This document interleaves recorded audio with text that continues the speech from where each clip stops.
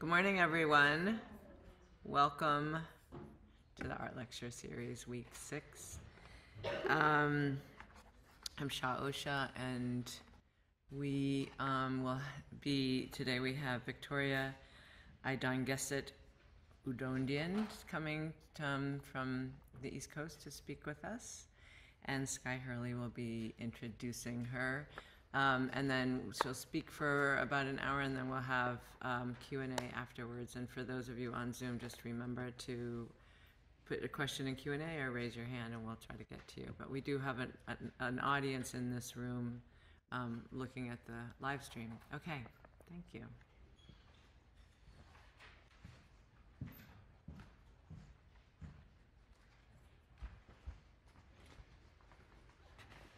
Hi, my name is Sky Hurley. I am a student here at Evergreen. Currently, I am enrolled in a two quarter program, Course Studio, where we delve into the topics of memory, material, and repair. And we do this um, through different art mediums such as painting, drawing, and photography. I am honored to introduce Victoria Idongesit Udondian, a Nigerian artist currently based in New York and working as a visiting associate professor of art at the University of Buffalo. Her work spans across multimedias, including installation work, photography, mixed media, and painting. In her artwork, she masters materiality, often utilizing secondhand textiles to unravel the untold stories and histories hidden within. Her focus lies in exploring how textiles and clothing can shape one's sense of self.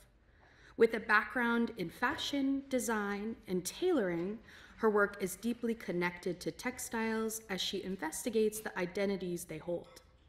Ufang Ufok is a captivating installation created by Udondian. The installation consists of a large-scale textile sculpture creating an immersive and ethereal environment for viewers. The textiles are meticulously handwoven by Udondian and in collaboration with local communities. It's my pleasure today to introduce Victoria Idongesit Udondian. Thank you.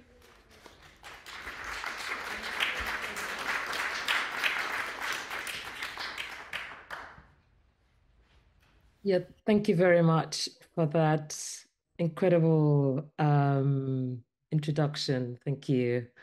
Um, so, as you've heard, my name is Victoria Idongesit and yeah, I'm from country Africa, and I live in New York, between Buffalo, New York, and New York City. Um, and for today's talk, I'm going to be taking us through some projects I've done in the last couple of years, um, and the most recent one. Um, and in a bit to do that, I'm going to share my screen.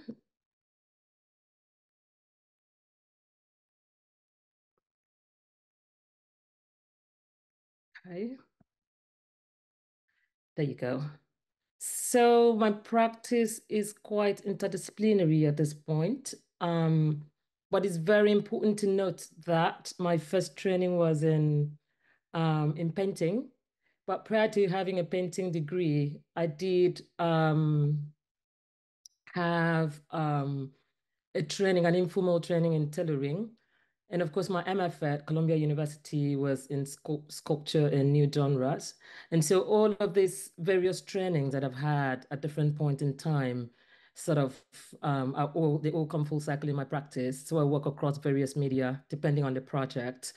Um, so I wanted to start briefly by just giving a little bit of context. Um, I am interested in exploring the mythology of the separate sphere, Africa and Europe, or the West, if you will, and aiming to create a nuanced overlap of complexities.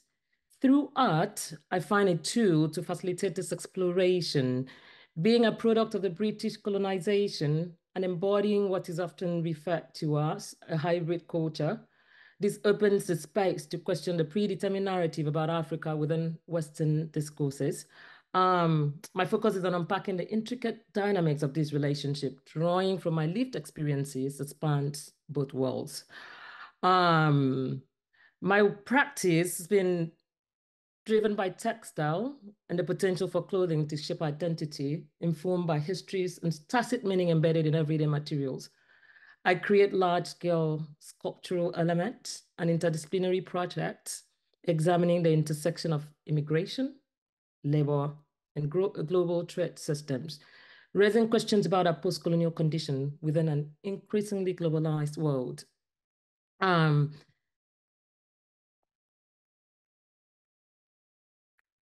okay, so before I get into um, the projects that I'd like to share, um, I'd also like to mention that um, you know, my practice actually started in Nigeria, and it's important to give that context because I think it's relevant to some of the projects that I will be sharing, mostly my earlier works. Um, the first project I'll be sharing. Um, okay, and so I had a training in painting. So my earlier works was were very much based on painting, traditional painting um, training. And of course, at some point, I got really interested in sort of rethinking my practice because I didn't find myself in the, you know, painting history I was studying in school. Um, and textile came to me quite naturally, you know, as someone who was already tailoring clothing. And so I got interested in sort of looking at the, um, I got interested in the secondhand clothing market being, you know, um, I grew up wearing secondhand clothes. My mom would go to secondhand markets. There are lots of them in, in you know, in Nigeria. Um, but of course, I was really curious where this clothing were coming from. Um, and so that took me on this um, research exploration of just sort of trying to understand the clothing, where they came from. Um, and so at that point in time, I did some research around Nigeria, sort of seeing, you know, realizing that this whole market system, of course, started from the notions of humanitarianism, which has been the Western obsession um, towards country Africa, um, you know, and and so I was interested in exploring that around the continent. So I traveled around a few countries in West Africa and also to East Africa, and I realized we had very similar situation where Africa is basically a dumping ground for all kinds of West from the from the West. um, and so, um, so from that experimentation, I would collect secondhand clothing from those research and I would repurpose them into sometimes large scale installations. Or I would create what I call hybrid costumes. And the costumes would sort of combine different kinds of textiles, sourcing from secondhand clothing market, all kinds of um, textile because Nigeria depends so much on importation of basically almost everything. So most of the textiles that are used within the Nigerian context, even the supposedly traditional outfits are mostly always produced. Um, initially, most of them used to be produced in Europe. And of course, today we have very stiff competition coming from China. And so after that research, at some point I got a residency. Um, it was my first residency in Europe, in Venice. And so when I went to Venice, I was now interested in sort of investigating how this clothing market starts in Venice and we how in Europe and how they end up in Africa. So I got to collaborate with um, a Catholic organization, Calitizia, in Mestre in Italy. Um, and from that collaboration, I was given access to their process of collecting clothing, used clothes, you know, through donations. Like most of you too, you would dump your used clothes in some of the bins that you have lying around the cities. And these clothing get sorted and the good ones will be used to save the locals um, within Italy, within the area who needed clothing. Um, and of course, the batch that were not good enough would be sent to a larger center where they're processed and they're mostly shipped to developing countries. Um, and so I've been very interested to, not just in um, sort of the idea of this um, global trade system, but also I'm very interested in materiality. I'm interested in the social life of uh, of material. Um, you know, in the case of secondhand clothing, I'm interested in the historicities around secondhand clothing. When this clothing are produced in the global south through very repressive conditions, and then they get shipped to um, to the West and we buy them in America and Europe, wear them, and then eventually dump them down and they end up in Africa. So I'm interested in the complexities of the history of the material itself. And when the locals within the Nigerian co context buy them and begin to wear them, um, it sort of complicates the whole of that history. Um, so I'm interested in the social life of objects, the social life of things, um, the social life of this secondhand material, and all of the histories that is embedded within them. And so while in Venice, um, I did create a project as a result of my research. I had donations of textiles from um, an exotic textile company in Venice, Rubelli, um, as well as a ton of secondhand clothing material that were donated by um, the Catholic organization Caritizia. And I combined this clothing to create the secondhand museum project that we're looking at on the screen. Um, it was a testament of five costumes. Some were meant to reference some Euro European clothing that I got to encounter in the museums while I was in Venice, while some were meant to sort of reference um, traditional Nigerian attire, but they were all made from scrap of like secondhand clothing, secondhand underwears, etc. Um, as part of this project, I also had um, invited people to wear this costume, sort of embody embodying them in photography. Um, and this this um, aspect of the work was called the Venetian um, Venetian portrait. And it was also sort of responding to the Venetian Caprice portrait that I was seeing in um, museums in Venice um, during my residency. One of the things that's also important to mention is the fact that because I was create, creating the secondhand museum, the portraiture was a part of the museum, the costumes were a part of the museum. And so I started also thinking about notions of museum and artifacts, how they travel the world. I mean, the fact that if you walked into a museum, you have an object and there is a list of, or there's some kind of label that gives you information about um, the history of that object. So I wanted to sort of play with play on that as well. And so this secondhand museum did have some kind of uh, label or histories around the collection. Um, and so for me, this was the beginning of me getting interested in sort of questioning the veracity of historical account and just sort of thinking about how stories become history, who writes history, who validates history. Uh, and so I began to sort of play on that. And so I created this fictional narrative around these costumes. Um, but of course, the narrative was mostly also looking at, um, you know, how artifacts end up in museum. Of course, the compl complicated history of collection and um, most of African artifacts that sort of ended up in in in Europe. Um, and so this was another um, series of photographs from that um, project. Another piece that I made during that um, residency as part of the project was called Okrika Bell. Okrika is actually an Igbo word, which is a Nigerian word that translates to tat tat. Um, and so the idea was to sort of create the bells. Um, and of course, in Nigeria, secondhand clothing are generally referred to as Okrika. Um, and so in this case, I had collected all of these um, used um, ropes that we used in docking ships in Venice. Venice is an island, so these ropes are used around the clock in docking the ships. So I would go around to collect them because I was interested in the idea of sort of representing some kind of elements of shipment, whether through the material that I was using, but also in the installation. The products of ship shipment could be seen on the installation um, being installed from the floor um, onto the stay wall. And then the last piece that was produced as part of this project was called About 1000. Uh, about 1000 was inspired by my going to a museum and to seeing a red shirt. And I got really curious about the red shirt in Italy. And so from my research, uh, research, I found out that the red shirt is synonymous with Italian unification. And of course, Giuseppe Garibaldi, who fought for the unification, had about a thousand red shirts for volunteers who were willing to fight with him for the unification of Italy. And there were lots of mythology around this red shirt. Um, some of has it that the red shirts were actually meant for the butchers, but were costed and by Garibaldi's team and used for the fight um, for this unification. So I was interested in having about a thousand red shirts in an installation um, that was done outdoor to reference the way Venetians dry their laundry. Um, 2015, I got invited to represent Nigeria at the Venice Biennial. The Venice Biennial is a major um,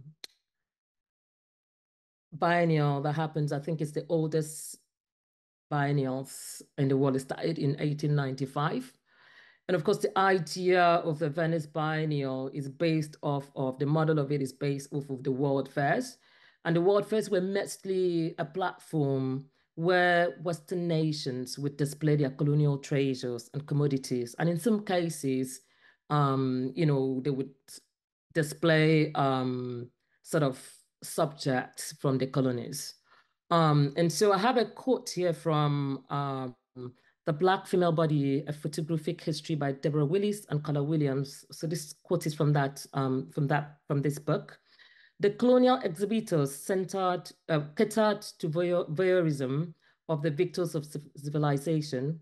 There were allegories of European hegemony and demonstration of racial supremacy in which imperialism seems to be transformed into natural history.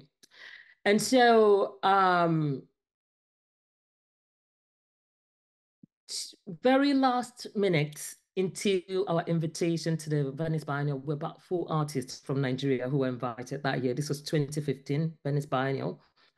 Um, the exhibition got cancelled. And um, this cancellation, which was very disappointing to me as an artist, but also that created an opportunity for me to begin to think about the Venice Biennial um, and its topography. And so I decided to create an inaugural Nigerian pavilion um, as a project. Um, and so I had about four artists for the pavilion, as well as a curator. So there were about five alter egos that I had produced and created a body of work um, for these artists for the biennial. And so there was some um, there was some texts I was that sort of informed um, the way I thought about the Venice Biennial. Um, and one of the texts was um, um, a text by art historian Carrie Lambert-Beatty, Investigation of Parafiction in Contemporary Art. Um, the text is called Parafiction and Plausibility, Make Believe Parafiction and Plausibility, sorry. And so my pavilion was sort of informed by this text, um, by the investigation of parafiction in contemporary art as a fiction that critically intersects with the world as it is being lived, destabilizing the viewer's relationship to facts and subtly altering their worldview. Parafiction produces and manages plausibility. It treats its reality as truth and thus plays with the viewer's ability to determine the reliability of information presented. Lambert-Beatty writes, this is precisely the territory of parafiction, where at once reveals the way things are and makes sensible the way we want them to be. The viewer, even myself, want to believe that Nigeria is capable of supporting a viable and sophisticated pavilion at the Venice Biennial but at the same time, I am acutely aware of the historically determined barriers and obstacles.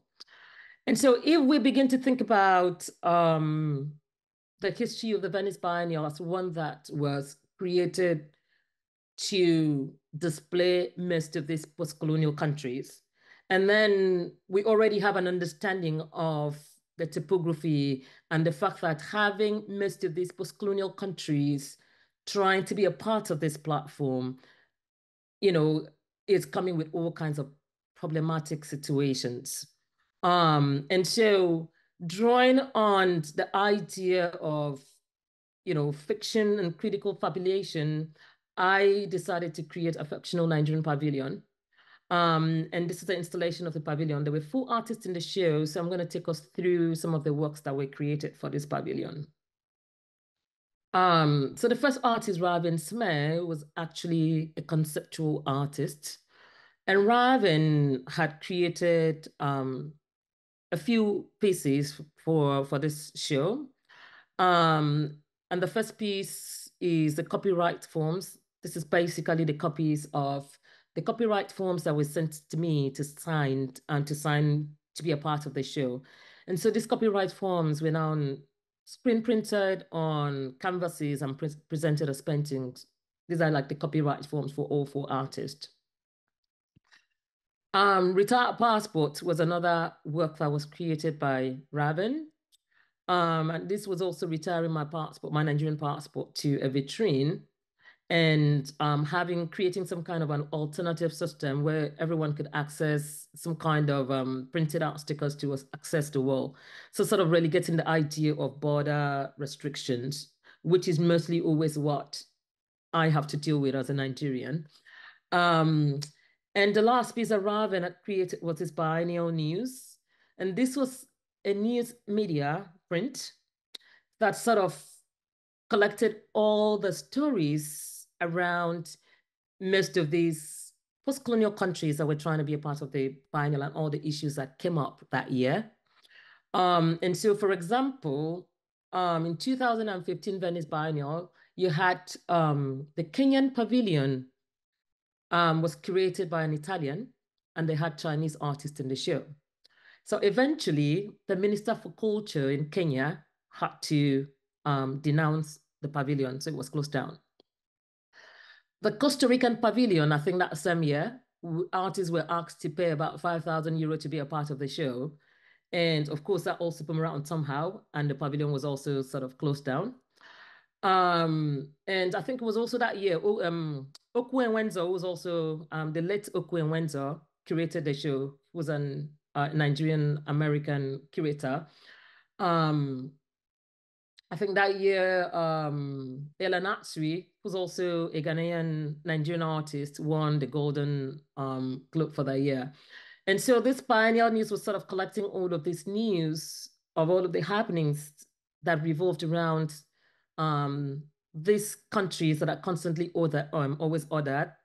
Um, and most of this news, you might not find them as prevalent in mainstream media. So Raven wanted to sort of bring this news into this um, media publication. Another piece that was produced by Donde Victoriano was the frozen economy, which is by also um, relegating like the secondhand clothing bales, um, you know, sort of re, rendering this economy useless by tipping these bales into um, resin. So they all sort of blocked out. Um, this is a detail from um, from frozen, the frozen economy. Um, there was also a photographer, and the photographer had created um, about four costumes that referenced um, cut dresses from specifically from countries that colonized Africa. So we had cut dresses from other reference cut dresses from from Britain, from Portugal, from France, as well as Belgium. And these cut dresses were made out of sort of a hybrid costume, again, made out of repurposed clothing. So all kinds of secondhand clothing combined with um, repurposed textiles. Um, and these costumes were embodied in photography as well. This was taken at the Met. So sort of situating this um, subject within this um, time period through um, the paintings we have on the wall. Um, and some were taken outdoors as well.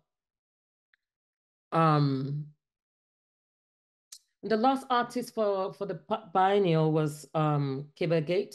And so Kebe was interested in sort of creating um, an architectural model, so creating a platform where African countries could actually show their works.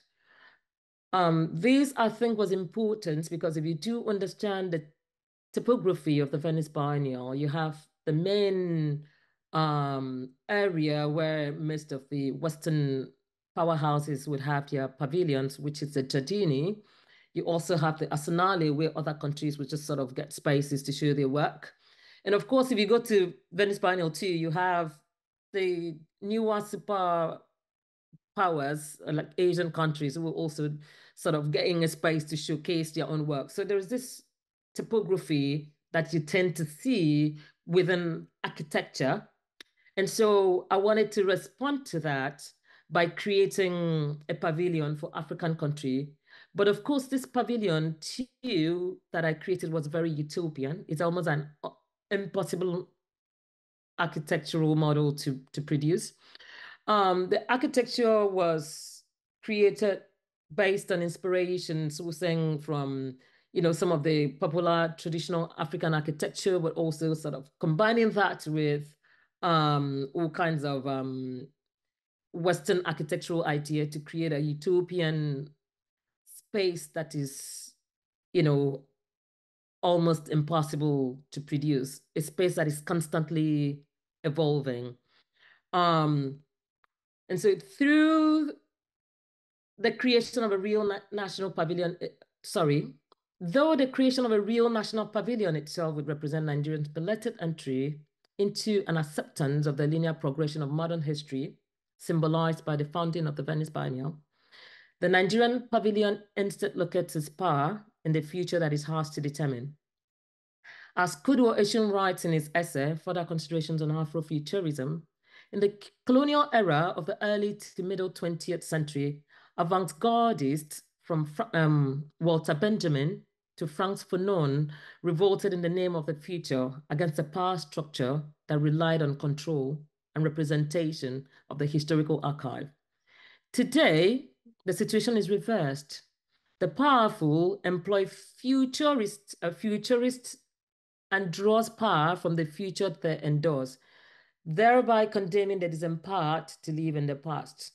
The present moment is stretching, slipping from one from some into yesterday, reaching for others in the future. So with this Nigerian pavilion, I was focused on the future, drawing attention to the incongruence between the mainstream contemporary art world, as exemplified by the Venice Biennial, the past, and post-coloniality, the future, my installation and the work within it rewrite history in order to, to imagine a different and empowered future. And so the quote from there is drawn from Kodwo Eshun's text um, and further consideration on Afrofuturism. Um, and so these are the drawings. So this project started off with drawings where I would create all of the series of drawings. And from the drawings, I now developed, I worked with an architect to develop um, an architectural model. So I'm going to play a short video clip just to give a sense of what it looked like.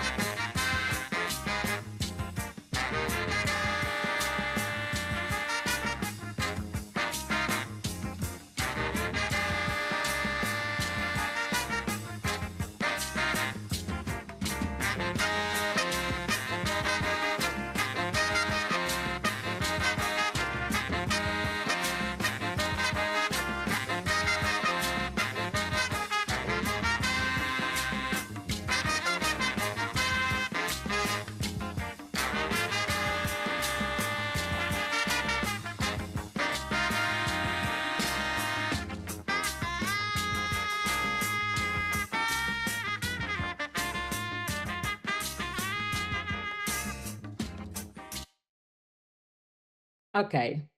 And so, um, yeah, so I'm moving to the Monarchs, which is also um, another project. I started getting interested in creating all of these headdresses. I think this is one aspect of my work that I keep going back and forth with. Um, and these headdresses um, are produced again using repurposed materials to reference traditional hairstyles from um, from Nigeria, from Af Africa, some parts of Africa. Um, and then I begin to sort of collapse this head forms with the cut dresses. So sort of thinking about the syncretic relationship between these um, two forms. Um, so I have a couple of um, installations with different costumes with different kinds of head dresses as well. Um, and this brings me to another project I'd like to share, which is a project that started in 2017, that's the Republic of Unknown Territory. And so 2017, I began the process of naturalizing in America. I came here to study, by the way. And after my education, I had um, all kinds of opportunities. So in a, in a bit to pursue those opportunities, I needed to sort of get at least a residency here to do that. Um, and of course, if we can pause for a moment to think about what the society was pre-COVID 2017, to give a little bit of context, Trump had just been elected into office, and there were huge vilifications of immigrants. Um, even those who had residency in America at some point were threatened because you would arrive at the border and you might be denied um, entry into the country. So there was all kinds of confusion. There was all kinds of um, sort of bureaucratic haphazardness around know, ideas of immigration. And also, it was around that time that I was just getting into the system trying to naturalize. So I was trapped in all of that frustration. I was trapped in all of that craziness. Um, and so, in a bit to make sense of the world, I usually would return to my work.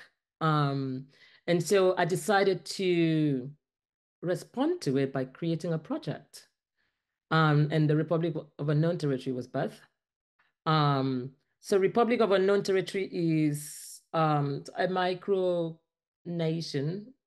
Um, I was doing a residency when I first started this project at the Fine Arts Work Center in Provincetown, um, Massachusetts.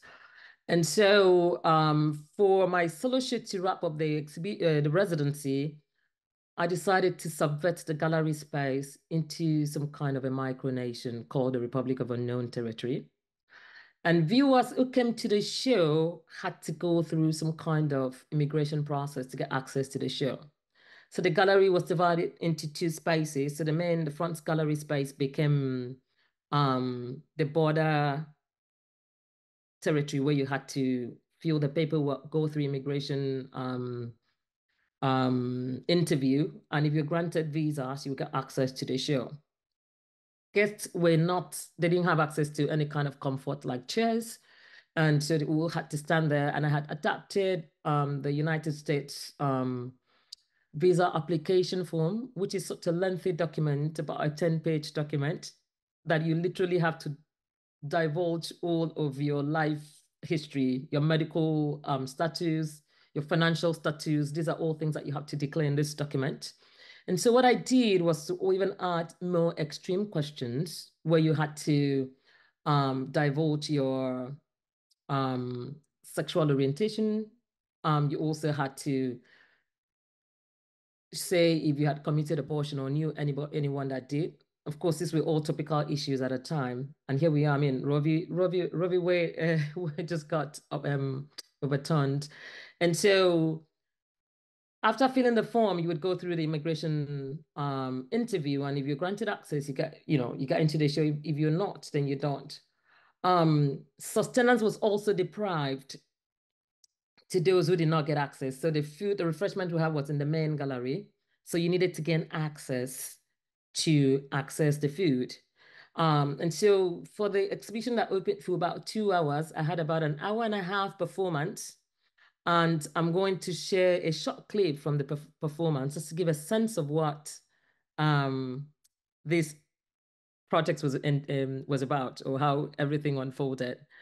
Um, and so inside the main gallery, there was also this installation, which was made from collection of cast of my fit, my body, uh, body cast of, um, you know, headphones to sort of reference a hijab, um, and also different materials that I had collected um, around um, Provincetown, and in creating this um, objects that sort of allude to the body, but also the body is not present.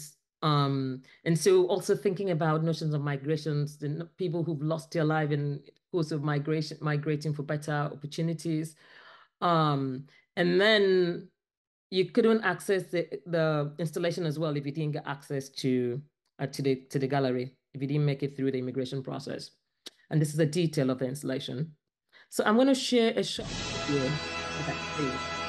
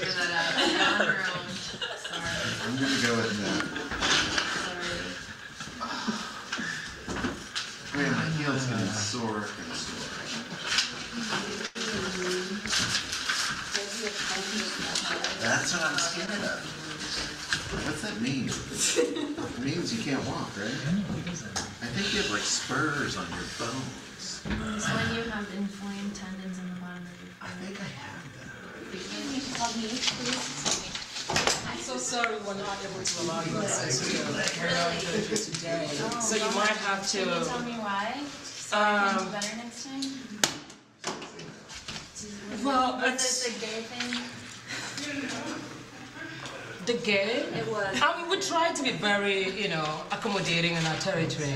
Um, we do not discriminate discriminate against people who are gay, you know. So, um, but of course, there are a lot of other factors that we do take into consideration in issuing visas to the unknown territory.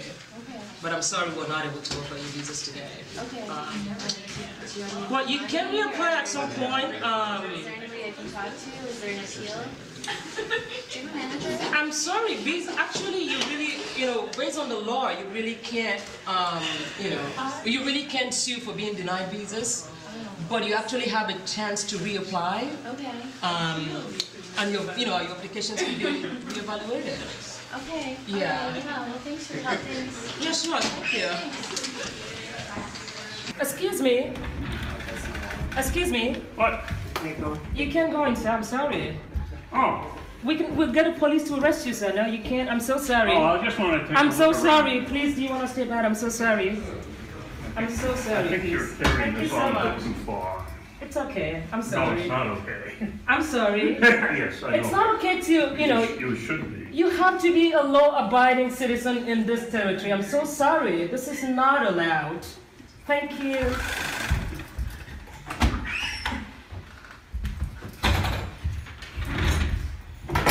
Next, please. Um, people call for, call for the two, call for both of them? Ah, And here? Better than? okay.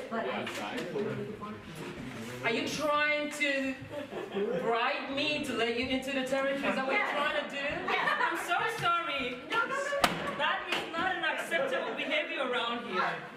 I'm so sorry. I'm so sorry. You just can't allow that here. You can reapply sometime and then your case can be reevaluated. Thank you. Next. We do not tolerate any kind of unlawfulness in this territory. This is highly unacceptable. And we're not gonna be here to allow this kind of, you know, unlaw- unlawlessness. We're not gonna allow it. You're being videoed. If you do want to have access to the, please go through the process, apply for your visas, and if it is approved, you have access. This is why we have to build walls here. We need to build erect like tall walls. Because this is not acceptable. Um, so one of the things that was um, interesting about this project is a lot that transpired that I did not preempt. I didn't expect that there will be resistance. Um, so eventually, those who actually had access to the show started passing, first of all, they started passing drinks and food across the border to those that were denied access. Um, bear in mind that the performance lasted about, this is just a very short clip. The performance lasted about an hour and a half. A few people were sort of given access and some were denied. Um, some people got mad. Um, and those who got inside passing drinks across the border and food across the border. And while I was sitting in the front gallery, adjudicating the process, the fire exit door in the back gallery was opened, and I ended up with all kinds of illegals in my territory. Um, I mean, if I knew that that would happen, I would have made pro proper provision for security. Um, anyways, and so after this project, I now was interested for the first time in opening my studio to the public. And so I had a call out. I was also doing a residency at Project for Empty Space in Newark at the time. And I had a call out for anyone with immigration story, first generation Americans, anyone who emigrated here that wanted to come to my studio, they would come in and I would collect um, their stories. I would take cast of their bodies, cast of their hands. Um, and this became also um, the beginning of creating a new body of work that culminated in a solo show that I had in New York City um, in 2022. And so from my collaboration with immigrant communities, collecting all these stories and all of this cast, I started creating these um, sculptures. But I'd like to start, before I show the images, I'd like to share this quote from Angela Davis and Gina Dent from the text, um, from the book Prison as a Border. We continue to find that the prison is itself a border. This analysis has come from prisoners who name the distinction between the free world and the space behind the walls of the prison. This is an important interpretation that undoes the illusion of the powerful nation states on the one hand, and the seeming disorganization and chaos of capital's travel on the other. There is a very specific political economy of the prison that brings the intersection of gender and race, colonialism and capitalism to view. Um, so I thought that quote really sort of resonated with some of the things I was grappling with, because of course, also around this time, you had situations where um, immigrants were being sort of detained at the borders. They were separated from their children. You also had kids who were left in cages away from their parents. So I wanted to respond to all of this situation. And so I started creating these cages, the piece on the floor.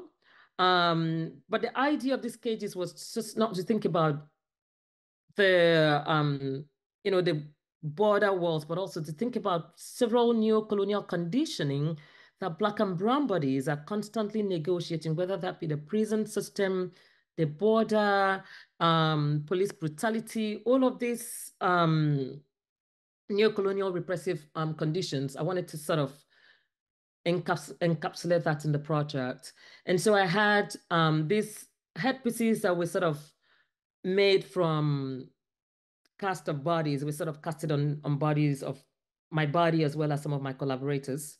Um, this is a detail of that piece. And we made with this hand woven um, fabric that I had, um, you know, woven myself. Um, and this is the, these are the cages, and you'd have these hands are live cast of my collaborators, where I just sort of emerging from these cages, sort of struggling to emerge from this from these cages. Um, this is a detail of that. There was a series of the box that was also dedicated to children, where would have cast of you know live cast of hands of children, um, as well as sort of the things that kids would or you know want to do. They want to play with their toys and all of these things, but here they are, they're stuck in cages, and how do you sort of reconcile um, all of this situation? Um, and this is a detail from that um, the children version.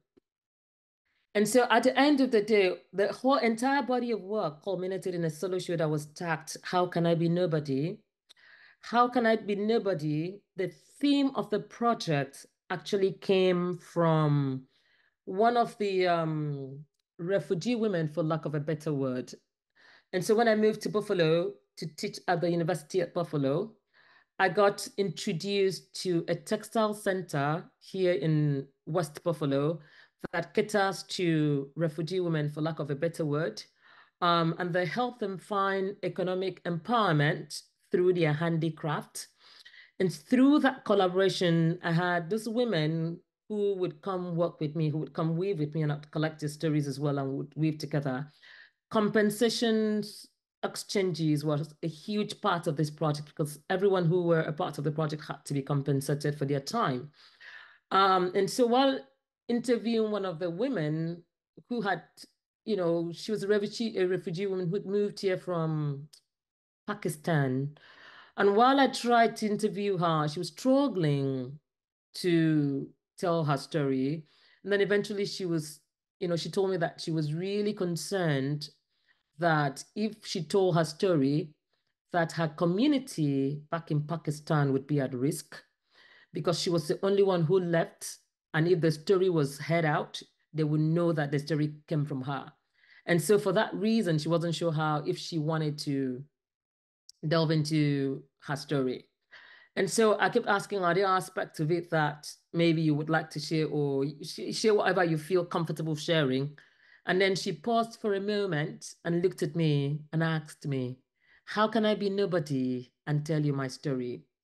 And in that moment, I realized that that was such a powerful statement. Um, and I started thinking, How can I be nobody? I think I've heard myself repeating it after her and tell you my story. And so after that interview, I emailed the curator of my project. I'm like, we definitely have to change the theme of this project. This is what just transpired. And I think that this moment was so special and the idea of this question, how can I be nobody, just sort of resonated with most of the issues that this project was about, the anxieties that most of these immigrants face in the course of trying to traverse from one location to another, the uncertainties, all of it. How can I be nobody? Um, the repression, the torture, everything is just sort of encapsulated. So I thought, how can I be nobody? Was the theme of the project. Um, and so how can I be nobody had various elements. It was a sound element, large scale installation, and there was also the um the large um textile piece that I had produced with this woman. Um, so the idea around this project was also to to highlight the contributions of immigrants to capital, capitalist production. Um, you realize that most of capital production, a lot of this work is done by immigrants. And of course, with what happened in Brexit, you saw what transpired in Brexit, where immigrants, you know, Brexit happened, most immigrants had to leave Britain, and Britain was suffering. They didn't have the workforce to work in the farmlands and all of these various places. And so I wanted to sort of speak to the fact that immigrant population contribute to the, you know, capitalist, you know, their contribution to capitalist capitalist production, but at the same time highlight some of the conditions or the conditioning around which this labor is, is produced.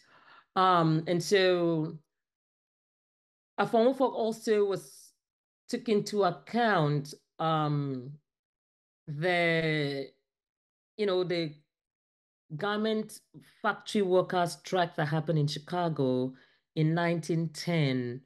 Um, most of the garment workers at that time, most of them were also immigrants from Eastern Europe. Um, and they had brokered some deals with the government to have better wages, better conditions, working conditions.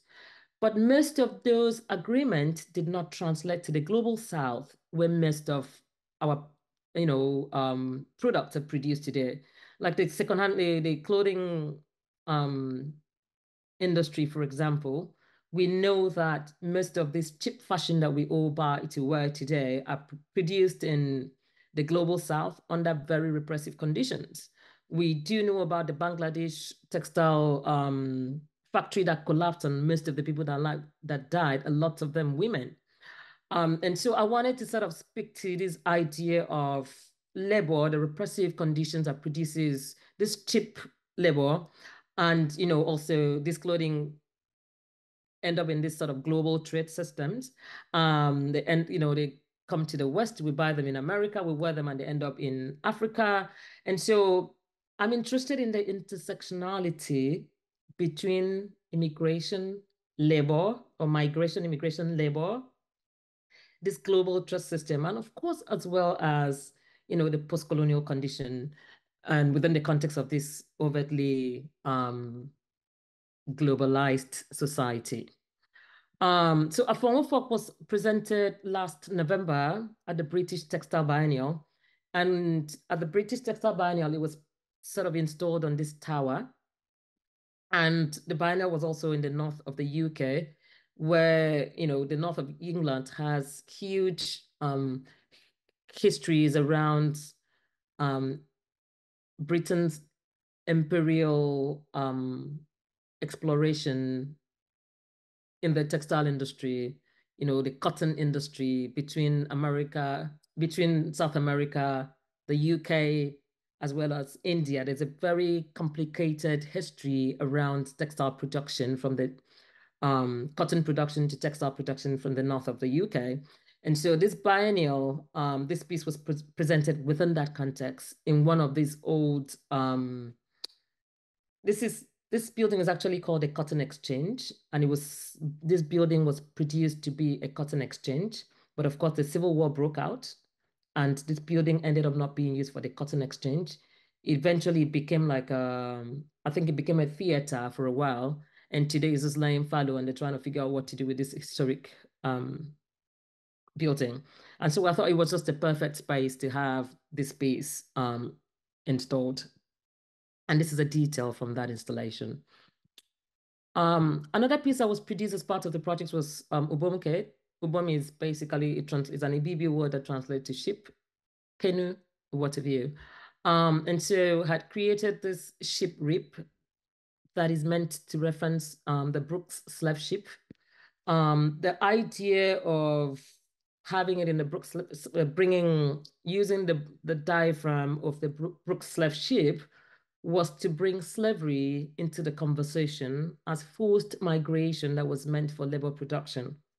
Um, but at the same time, it also references most of the, um, you know, ships that languages on the um, Mediterranean Sea, migrant ships that, you know, languages on the Mediterranean Sea. And all of the, you know, most of the cast of hands that I had collected from my collaborators reside in this um, ship rip some of them in black, some in brown. This was made with different materials, and some of them were made with the flags of the various countries of my collaborators as well. Um, there were two ship rips. The second one was made using um, reclaimed shipping pallet. Um, I was interested in the shipping pallet given its intrinsic relationship to shipments of goods. Um, and so I repurposed shipping pallet to create, create the ship rip, but also collected all of these used shoes from the communities as well as, um, you know, recycle centers around um, my studio area. And this is also another view from the installation. Another piece that was produced as part of this collaboration was this um, Menamutum, which also is an Ibibio word that translates to the workers. And so I had asked my collaborators to donate their used work clothing, preferably in black. And in exchange, I would give them new ones. And so this collected used clothing is now um, frozen to reference their bodies in fallen form. So using that to, you know, sort of think about, um, again, the repressive conditions that labor is produced. Um, but one of the things that I do like to highlight is the fact that um, I also do like this idea of playing with presence and absences. You have you would find but you would find the presence of the bodies within the absence of the bodies.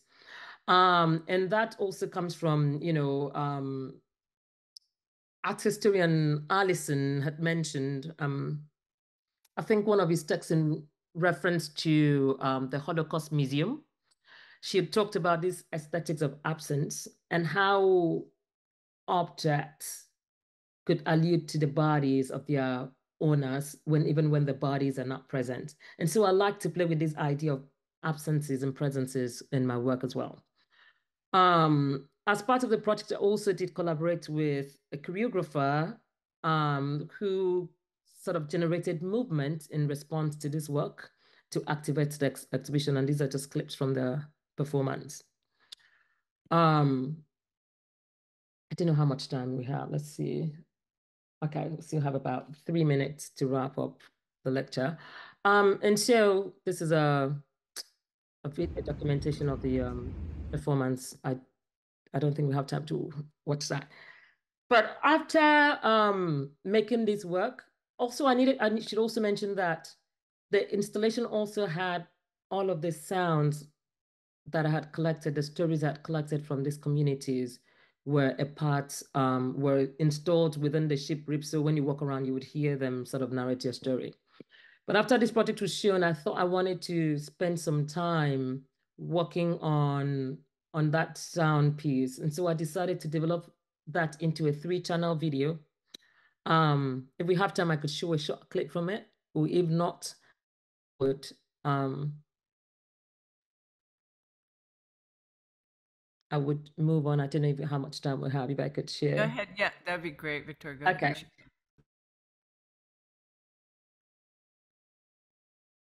how can I be nobody and tell you the story?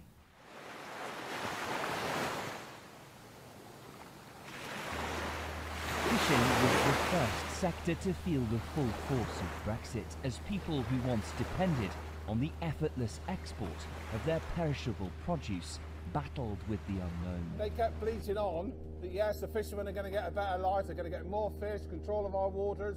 So that, I believe, made a lot of people vote to come out of Brexit. And it didn't work, did it? I know I have tried my best to be part of my my home country, but the country has done enough to sort of make me not want to be part of it. I can't allow myself to be stuck in the past.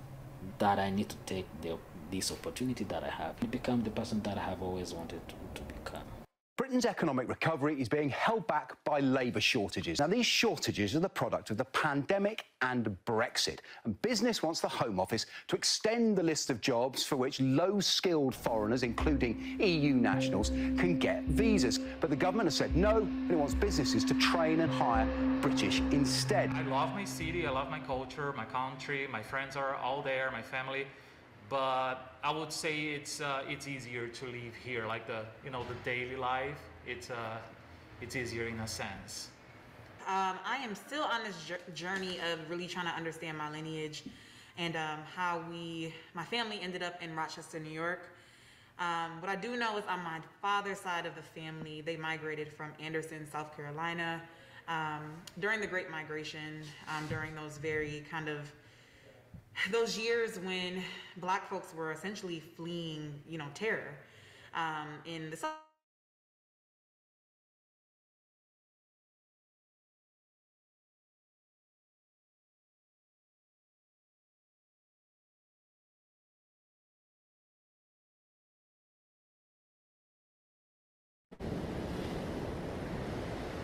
January 1997. After coming back to Rwanda, my family tried to start a new life from scratch. But with a country that that had just witnessed a genocide, the, the major ethnic groups were always fighting each other.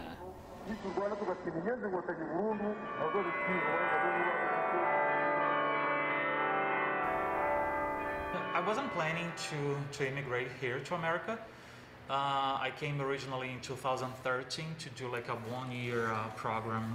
Uh, it was part of my uh, my doctorate, and uh, meanwhile I met a guy that, and then we started dating, and two years later we got married.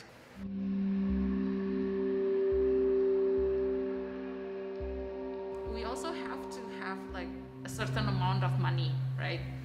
to be able to actually get those paperwork. And that's why I was like so so angry one time when my husband and I was just like walking and enjoying the day. This white lady was just like you know talking behind our back saying that oh these people they're taking our money. And i'm like excuse me? Like i came here with my own money. Like i actually contribute to your economy. And like i'm not taking anything from you But it's perhaps those who relied on freedom of movement who've suffered the most. The biggest issue is staff. We would have had 100, 150 people today picking, and it's just down to what, 25 now. This farm forced to leave close to a million tons of courgettes to rot as its workforce evaporated. A business that has since decided to downsize. Restricting free movement has had a devastating impact, but not just on horticulture or agriculture, on, on, pretty much every sector where um, people from abroad have been, have been working in those sectors for years and now they're going home. My mother came to the United States um, to marry my father. He was in the military. And he was stationed in Suriname. So he came. She came to the United States to marry him, and then very soon after they got married, he was sent to Vietnam.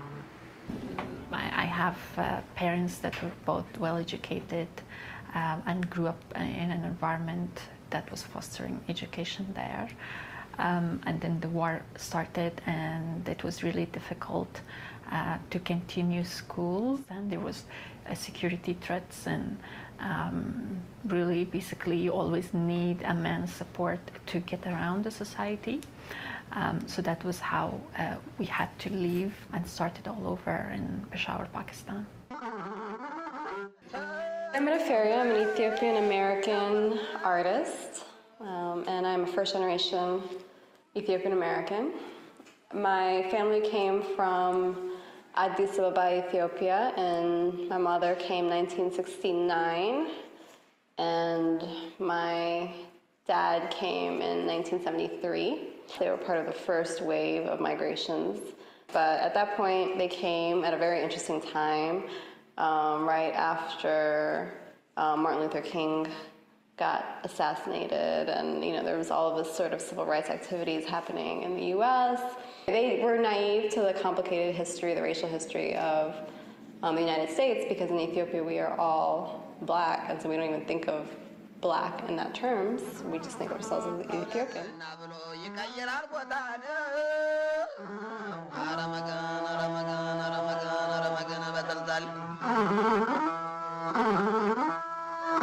I was working for a gallery and thinking, okay, well, it's either I invest myself um, with the gallery work for two more years, or two plus years with the H 1B visa, um, and then be committed to this job as a way of staying here in, in the United States, or kind of going through the other really radical route of being like, hey, Mark, will you be able to sponsor me for me to stay here and for us to continue the relationship?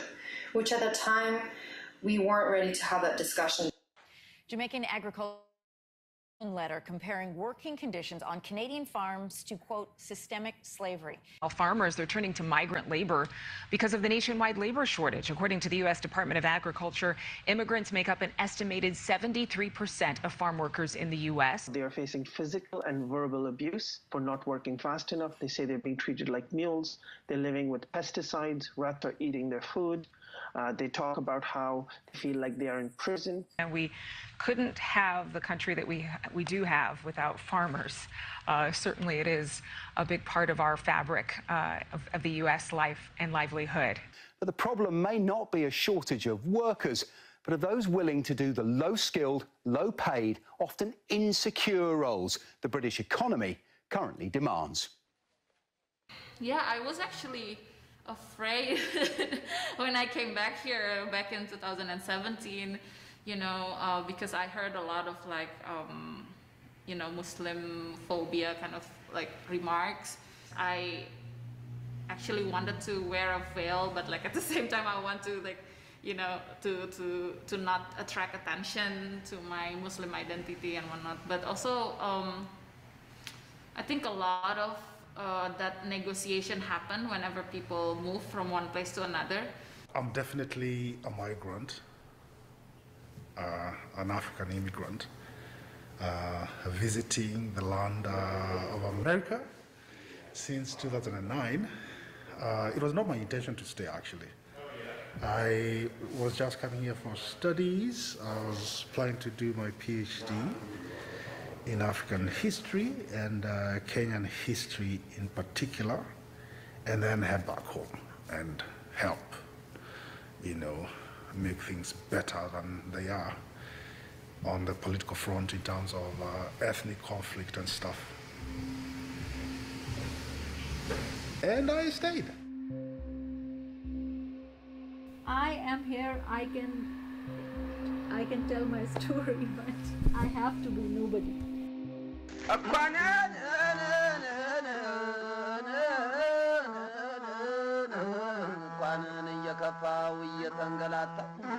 One day, some great opportunity stands before you and calls upon you to stand up for some great principle, some great issue, some great cause. You refuse to do it because.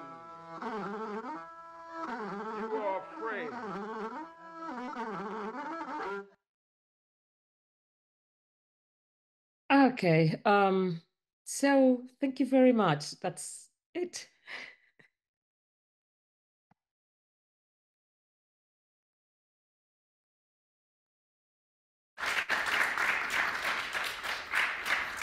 Can you do that again? Can you clap again?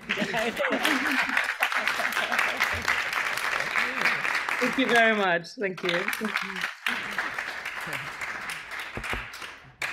Thank you so much, Victoria. That is, was um, such a. It was like a journey you took us on. I feel like where you started um, with your history with tailoring and painting, and, and then your your sort of graduate degree, and then that the Venice Biennale thing with what the pavilion starts to represent. Um, sort of th- this clean, unseeing kind of narrative of who gets to belong and who doesn't, the walls, and then how you bring it into the walls with international borders and migration. I mean, it's just was such an amazing journey of this of how interconnected everything is, uh, including our histories, you know, colonial, post-colonial, and just histories of migrate migration in general. Like, you know, in, in all of the continents, these histories, these tensions, um, and then the and the systems involved, and this idea of absences and presences and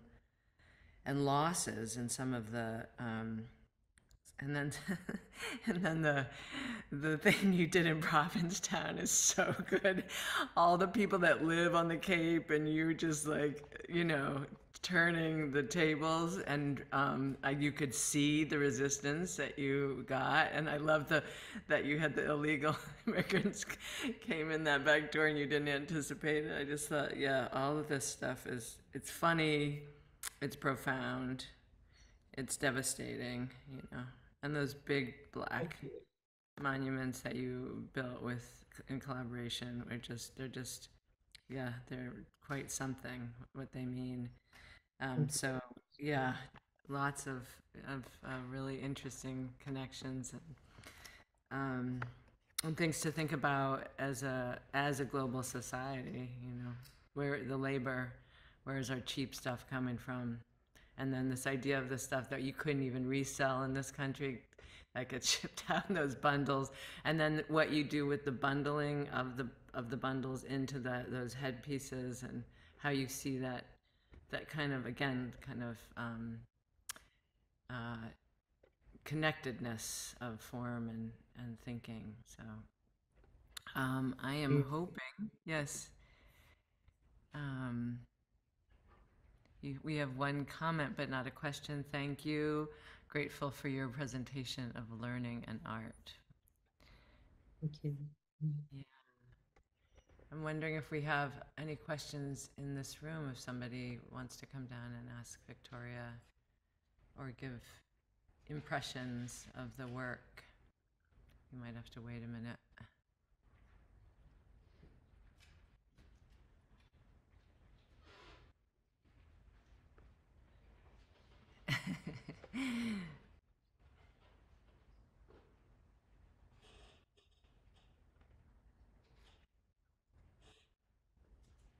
Okay, great.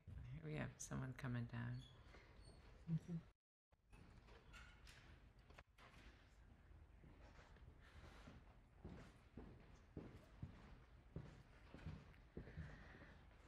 Hello. Hello. Um, first of all, your presentation was amazing. Like that was so incredible. Um, yeah. So my question was, so you started out your con- like your presentation with like you started your residency in Venice, and then you kind of moved through like working with this history of European art, and then going into more like radical post-colonialist um, themes. So where do you see your work going next? Slash, like what projects are you working on now? Um, thank you. Um, so yeah, this is such a work. Um, I'm still very early on in the work I'm working now that I feel vulnerable to share, but I'm gonna just mention that right now I'm developing a new project that is looking at um the Sino-African relationship. So thinking about the role of China on the continent of Africa. Um, but of course, I'm looking at um, artifacts that were collected from Africa that we now find in museums today. And these artifacts, to my mind, on the one hand, have become like colonial signifiers. And, and so I'm thinking about how these objects could be used in sort of a retelling of contemporary story about the role of China on the continent.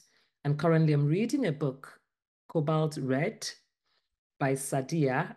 Um, I never pronounced the surname correctly. Anyway, but the, the book is called Cobalt Red, and the book is looking is talking about um, the exploitation of cobalt in Congo and um, you know the amount of slave child slave labor that's going on in Congo. So I'm sort of all of these things I'm reading is just sort of um sort of messing with my head in a way. So I'm thinking of how all of that is going to come full cycle in this work. As I'm reading the book, and also even like most of the companies exploiting cobalt in China are from China or from Asia somehow, but also they are also sort of that's like the basic um base level production, but we're also talking about like all of the giant corporations, Apple, Mike, all of these major companies that rely on cobalt to produce our technology, our cell phones, our laptops. So we're all culprits in this. So I'm sort of, you know,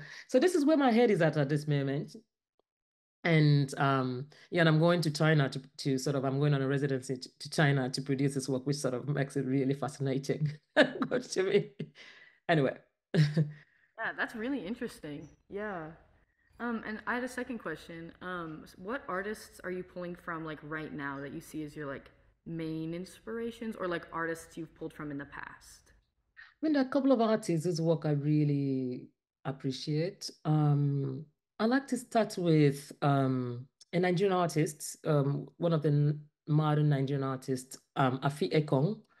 Um, I, I'm I'm kind of I like to always mention Afi Ekong because I find her such an inspiration, and she was um one of the few female artists you read about from modern Nigerian art scene. Like the art scene in Nigeria is very um masculine, if you will. And so just finding one woman who did not just work, hold her own locally, but she was also an artist who had worked quite internationally as well.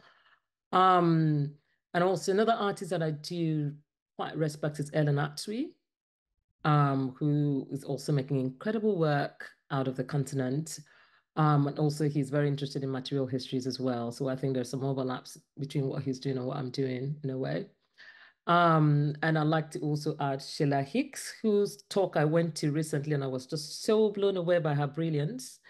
Um, and um, who else do I add to that list? Um, and you know, there's another Nigerian artist who's based out of Belgium, Otobong Nkanga, which whose work I've also really appreciated. She works quite um, multidisciplinarily, but also she's looking at um, notions of land ownership, colonialism, you know, and the impacts it's had on our lives and all that. So yeah.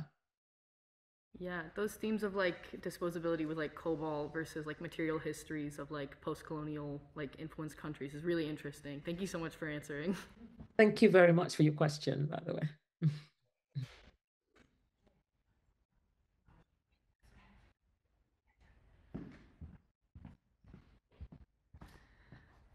Hi, my name is Samantha, and thank you so much for your presentation. It was so inspiring to hear. I've been also I've been thrifting since a very young age, and I always think it's so interesting to see what people just throw away, you know, and how we can reuse those things.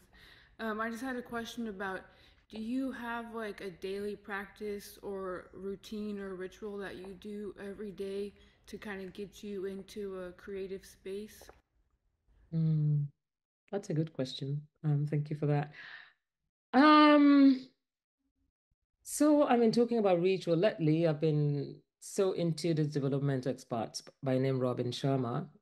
And he is an advocate of like the 5 a.m. club, wake up in the morning, use your first hour, you, you know, um, and has this all these formulas, 2020 formula where you exercise and you journal, you read, um, so I'm into those kinds of things. So I do those just to ground myself in the morning and just sort of um, get into the day.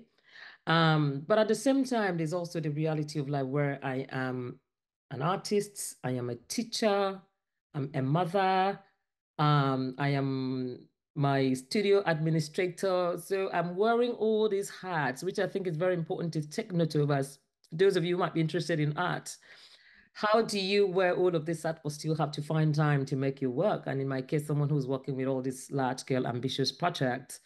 Um, and so you just realize that you just have to commit to the work somehow. Whatever you can do that can ground you to commit to your work, I think it's just what you do. I mean, for me, I used to be very nocturnal, but now I'm a morning person. So I'm trying to see how much I can be more organized just so I can take on all the tasks that I have to do between all of these different hats that I'm wearing and still find the time to get in my studio and just make work.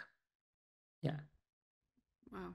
Well, it's very admirable how much you do. Thank you. And inspiring. yeah. Thank you very much.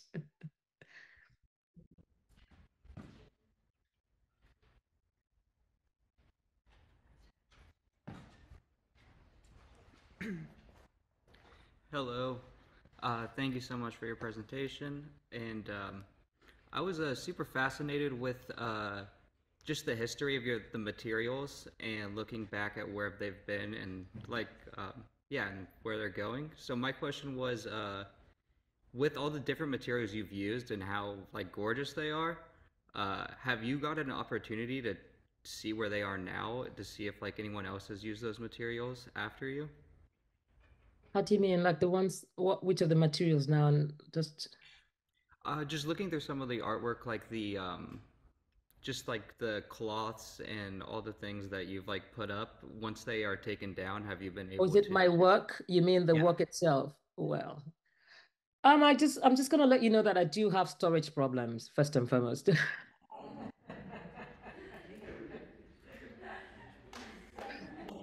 Um, yeah, just know if you're trying to work at the scale that I'm working, you're gonna have storage issues and you have to figure out a way to do that. I'm still trying to figure it out, trust me. Um, the piece I was shown in the UK just got shipped back to me last December and I had to figure out where they need to go. And so there is always um that. Um, and just constantly sometimes you're sort of struggling with yourself. What do you do with this work? And there's so much you know, I'm interested in, I don't want to have to throw them back in the environment, just sort of adding back to what it is. So I just have storage issues. I have all kinds of storages where I'm storing all kinds of work. And so, um, yeah, I'm still trying to reconcile that aspect of the work. It's a real, it's a real thing. Thank you. You're welcome. Thank you for the question.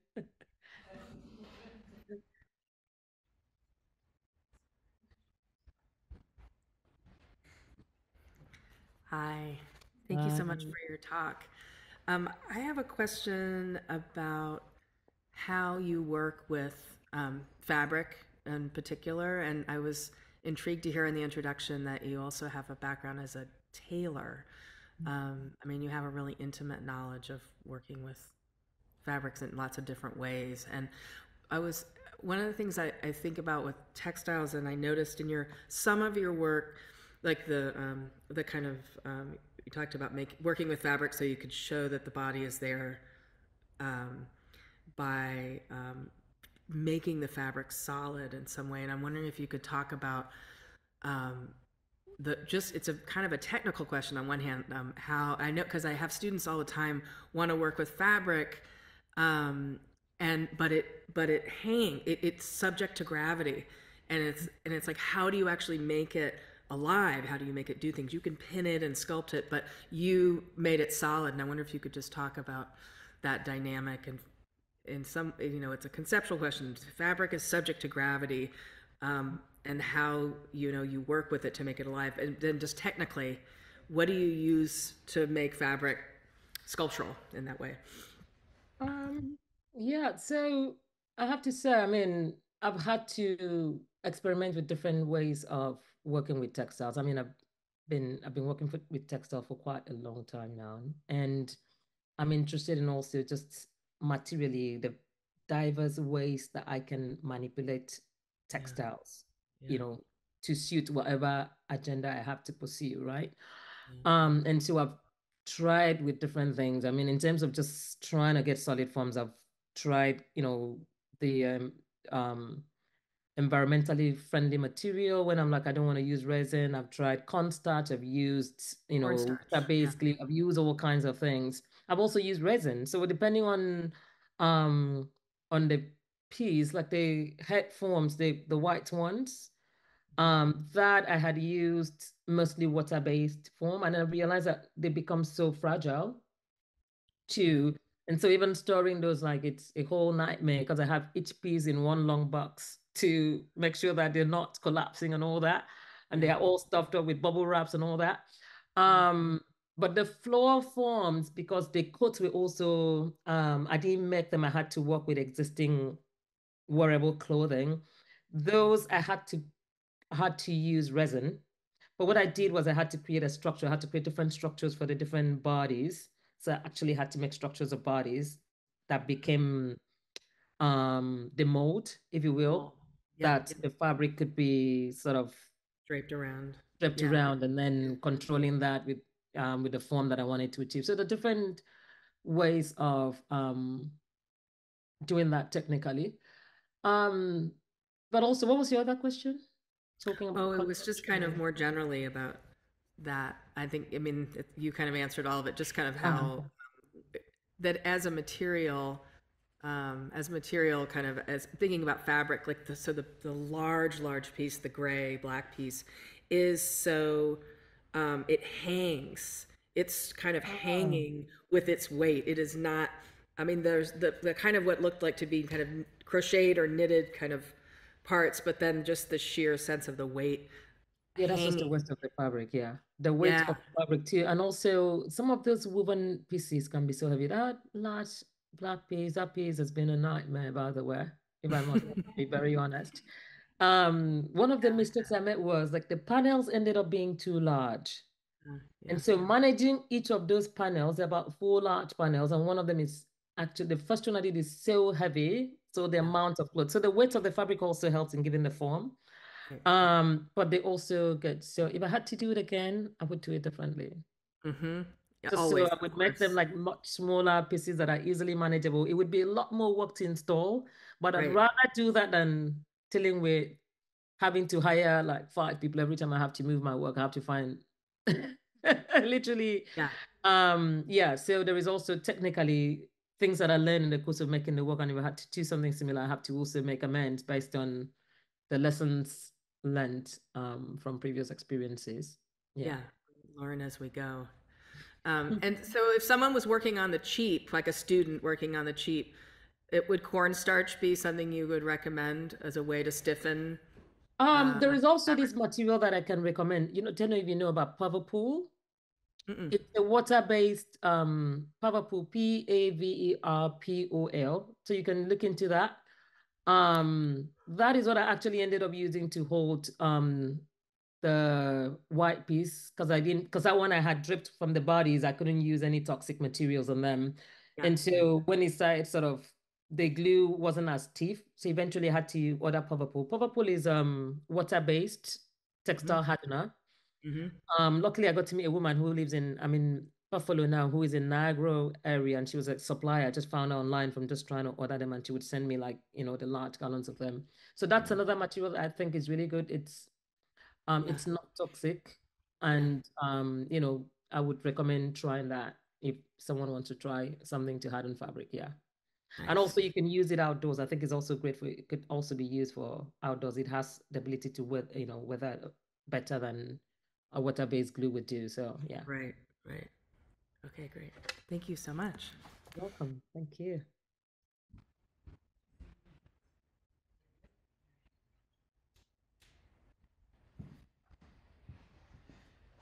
I'm, we have three minutes, so I'm hesitant to, let me see, we have one.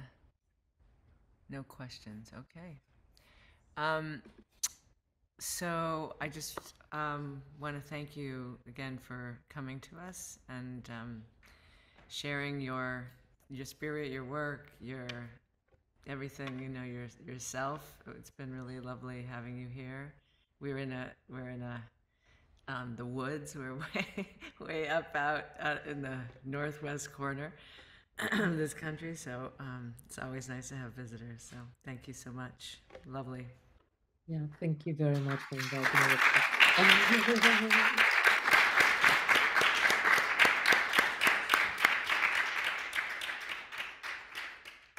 Hope to see you